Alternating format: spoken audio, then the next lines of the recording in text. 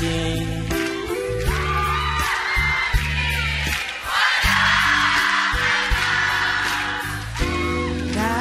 Nakatingin sa salamin.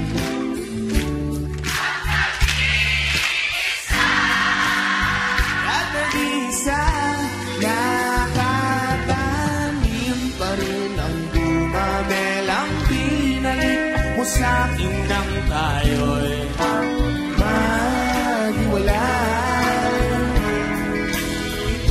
katulad ng damdamin ko Kahit buhusan mo ng beer